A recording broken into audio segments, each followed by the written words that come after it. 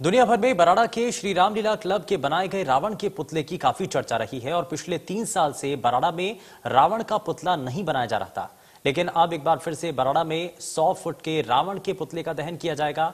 हर बार 221 foot Ravan का पुतला बनाया जाता था, लेकिन ग्राउंड में जगह कम होने की वजह से इस बार इसकी लंबाई घटा दिखाई दरअसल पिछले तीन साल से पंचकुला में रावण के पुतले का दहन किया जा रहा था, लेकिन अब एक बार फिर अंबाला के बराड़ा में रावण के पुतले का दहन किया जाएगा।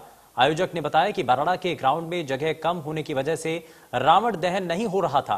रावण के पुतले को बनाने के लिए छह महीने का समय लगता है। कोरोना की वजह से पंचकुला का ऑर्डर नहीं मिला।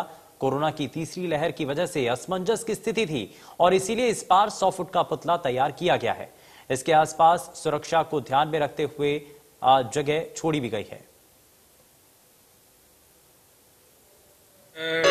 तो सबसे बड़ी मेन टाइम की कमी की वजह से ये छोटे पुतले का निर्माण यहाँ किया है। दूसरा, ग्राउंड की यहाँ दिक्कत है बहुत ज़्यादा। बराड़ा में कोई प्रॉपर ग्राउंड दशहरे के लिए उपलब्ध न होने की वजह से उसी पुराने ग्राउंड के बीच में ही हमने रावण का सौ फुट का पुतला स्थापित किया है।